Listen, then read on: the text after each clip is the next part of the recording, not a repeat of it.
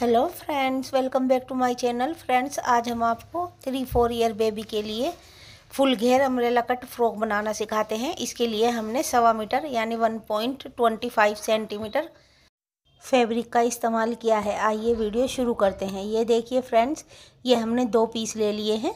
ये योग के पीस हैं। इसकी इस तरीके से चौड़ाई फोर्टीन इंच है और लेंथ इसकी टेन इंच है। डबल पीस ये हमारे हैं। इनको एक बार हम इस तरीके से फोल्ड कर लेते हैं। आप देख सकते हैं फोर पीस ये हमारे यहाँ पर हो गए हैं। शोल्डर हमें फोर पॉइंट फाइव इंच रखना है और आर्म होल की लेंथ हमें फाइव इंच रखनी है। इस तरीके से सीधा निशान लगा लेते हैं। यहाँ से हम ऐसे चकोर कर लेते हैं। इसमें हमें ऐसे करते हुए गोलाई कर देनी है। नीचे की साइड से हमें आधा इंच फिटिंग का निशान लगाना है। इससे हमारी फिटिंग बहुत ज़्यादा अच्छी आती है।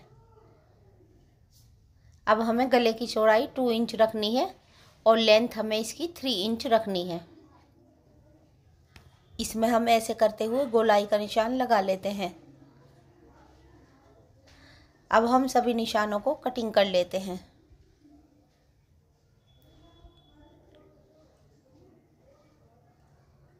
यहाँ से शोल्डर पर से हमें हल्का सा ढालदार कट करना है, जिससे हमारी फिटिंग अच्छी आती है।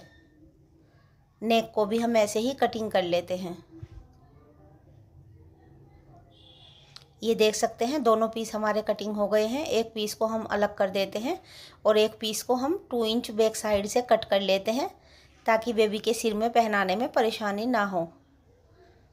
ये हमने पट्टी ली है एक, जिसकी लेंथ थ्री इंच है और चौड़ाई इसकी टू इंच है। इसको हम बीच से ऐसे करते हुए कट कर लेते हैं और सीधी साइड पर ये हमें रखनी है और बैक साइड में पलट लेनी है। ये देखिए फ्रेंड्स, ये हमने एक पीस लिया है जिसकी लेंथ थर्टी सिक्स इंच है और चौड़ाई भी इसकी थर्टी सिक्स इंच है। डबल करके हमने ये पीस रख लिया है। डबल करके इसकी लेंथ एटीन इंच है और इस तरीके से थर्टी सिक्स इंच है। अब एक बार और हम इस पीस को डबल कर लेते हैं। ये देखिए, इसकी चार तह हो गई हैं कपड़े की। अब जिस साइड से हमारा जुड़ा हुआ हिस्सा है, दोनों साइड से, उस साइड से हमें इसके ऊपर के योग का निशान लगाना है। फोर इंच हम यहाँ पर निशान लगा लेते हैं। इस निशानों को सभी को इस तरीके से हम मिला लेते हैं।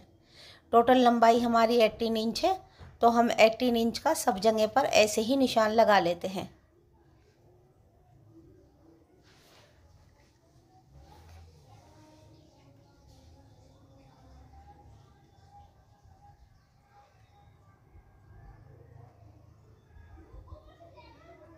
अब हमें इन सभी निशानों को मिला लेना है। ऐसे करते हुए हम सभी निशान मिलाकर बराबर कर लेते हैं। ये देखिए, अब हम दोनों निशानों की कटिंग कर लेते हैं। नीचे की साइड से भी हमें इसको कटिंग कर लेना है। फ्रेंड्स इस फ्रॉक का छोटे से कपड़े में ही काफ़ी ज़्यादा घेरा बनकर तैयार हो जाता है। ये देखिए, हमारा काफ़ी घेरा इसमें बनकर तैयार हो गया है। साइड से नीचे की गोलाई से जो हमारा कपड़ा बचा हुआ है, उसमें से हम इसको सीधा कर कर पाइपिंग काट लेते हैं। ये रेब की पाइपिंग काट रहे हैं हम नेक और आर्म होल में लगाने के लिए। इसमें हम पाइपिंग नहीं लगाएँगे, अंदर की साइड को पट्टी लगाएँगे। तो एक इंच की पाइपिंग हमें बहुत चौड़ाई में चाहिए। ऐसे करते हुए हम इस पर सिलाई लगा लेते हैं नेक पर। अब हमें इसमें बीच में हल्का सा कट लगाना है। कट लगा रहे हों जब आप तो ध्यान रहे आपकी सिलाई नहीं कटे। अब हम इसके नीचे सब कपड़ा कर लेते हैं और इस पट्टी के ऊपर एक सिलाई लगा लेते हैं। इस तरीके से अगर आप पट्टी लगाती हैं तो आपकी पट्टी बहुत ज़्यादा अच्छी फिनिशिंग के साथ लगती है और आपको फोल्ड करने में भी इसको आसानी रहती है। ये देख सकते हैं अब हम इसको अंदर की साइड को फोल्ड करते हुए इसके ऊपर एक सिलाई लगा लेते हैं। आप देख सकते हैं कितनी फिनिशिंग के साथ हमारी पट्टी ये तैयार हो गई है। आप किसी भी चीज़ में इस तरह की पट्टी की ज़रूरत हो, आप इसी तरीके से लगाइएगा, आपकी पट्टी बहुत ही ज़्यादा फिनिशिंग के साथ तैयार हो जाएगी। अब हम दोनों शोल्डर मिला लेते हैं और इसके ऊपर सिलाई लगा लेते हैं। फ्रेंड्स, जब हम शोल्डर पर सिलाई लगा रहे हैं तो हमें ध्यान रखना चाहिए कि शोल्डर पर हमें हमेशा डबल सिलाई लगानी चाहिए। इससे जब पाइपिंग या पट्टी या स्लीव्स वगैरह हम लगाते हैं तो साइड से हमारे शोल्डर उधड़ते नहीं हैं। अब ये हमने रेब की जो एक इंच की पट्टी काटी थी, उसको रखते हैं इसके ऊपर आर्म होल के और इसमें सिलाई लगा लेते हैं। फ्रेंड्स, इस पट्टी को हमें बिल्कुल भी नहीं खींचना है ढीली ढीली छोड़ते हुए लगाना है और इसके अंदर कट लगा लेने हैं छोटे छोटे से। जब हम कट लगा रहे हों तो हमारी सिलाई कटनी नहीं चाहिए। अब सब फैब्रिक हम इसके नीचे की साइड को कर लेते हैं और इसके ऊपर एक किनारे पर सिलाई लगा देते हैं। इस तरीके से आप किसी भी चीज़ में पट्टी लगा सकते हैं, आपकी बहुत फिनिशिंग के साथ पट्टी तैयार हो जाएगी। बैक साइड के नेक में भी हम ऐसे ही पट्टी लगा लेते हैं, जो हमारा गोलाई में कटा हुआ होता है। ये देखिए कितनी अच्छी तरीके से हमारी पट्टी लगकर तैयार हो गई है। अब इस पट्टी को हम इस तरीके से अंदर की साइड को फोल्ड कर लेते हैं और इसके ऊपर एक सिलाई लगा देते हैं।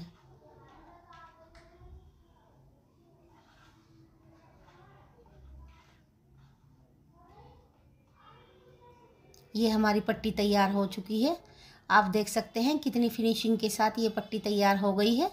इस साइड पर भी हम इस पट्टी को इसी तरीके से लगा लेते हैं और नेक में भी हमें सेम ऐसे ही पट्टी को लगाकर तैयार कर लिया है। ये हमारे पास थोड़ा सा एम्ब्रॉयडरी का फैब्रिक है। इसको हम यहाँ पर बेल्ट में इस्तेमाल करेंगे। इसकी चौड़ाई टू इंच है और लंबाई हमें योग की चौड़ाई के हिसाब से फोर्टीन इंच लेनी है। इसको हम यहाँ पर रख कर लगा देते हैं।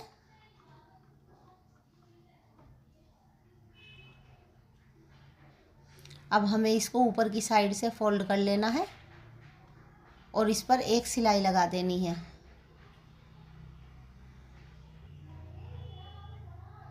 इस तरीके से ये हमारी बेल्ट तैयार हो जाती है।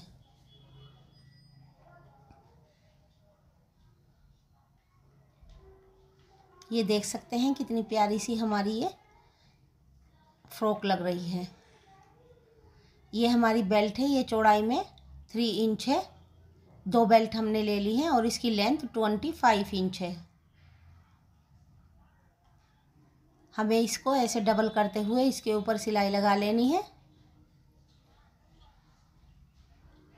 पूरी बेल्ट पर हमें दोनों बेल्ट सेम इसी तरीके से तैयार करनी है, साइड में सिलाई लगाते हुए। अब इस साइड से हम वी शेप का इसको कट कर देते हैं। ये देखिए, ऐसे वी शेप में हमारे कटिंग हो गया है। अब हम इस वी शेप में भी सिलाई लगा देते हैं। दूसरी बेल्ट भी हमें सेम ऐसे ही बनानी है। हम आपको वी शेप में उसको काटना बताते हैं। ये देखिए, ऐसे करते हुए। वी शेप में बेल्ट को काट देते हैं और यहाँ पर सिलाई लगाकर इसको तैयार कर लेते हैं। अब हम इस बेल्ट को किसी भी चीज़ से पलट सकते हैं। दोनों बेल्ट हमें पलट लेनी है अपनी। सीधी कर लेनी है। इन नोक को हम सुई की मदद से निकाल लेते हैं।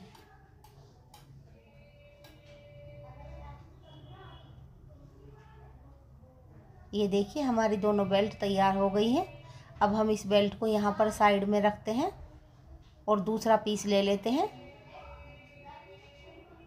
और ऐसे करते हुए इसको, बेल्ट को दोनों पीस के बीच में रखकर इस पर सिलाई लगा देते हैं।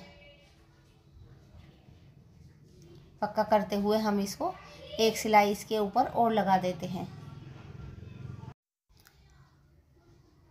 इस साइड में भी हम अपनी बेल्ट को इसी तरीके से रख कर लगा देते हैं।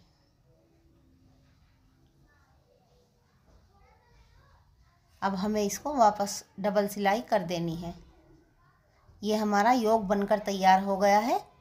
ये हमारा ऊपर की साइड का घेरे का हिस्सा है। इसमें हमें एक सिंगल सिलाई लगा देनी है, जिससे इसमें हल्की हल्की सी चुन्नटें आ जाती हैं। आपका घेरा ये सिलाई लगाने की वजह से खिंचता भी नहीं है। ये बिल्कुल बराबर घेरा फ्रॉक में, योग में लगकर बहुत प्यारा लगेगा। देखिए, हमने सिलाई लगाकर इस तरीके से तैयार कर लिया है। अब हम योग और घेर को एक साथ जोड़ लेते हैं। इस तरीके से इसमें चारों तरफ़ सिलाई लगा देते हैं।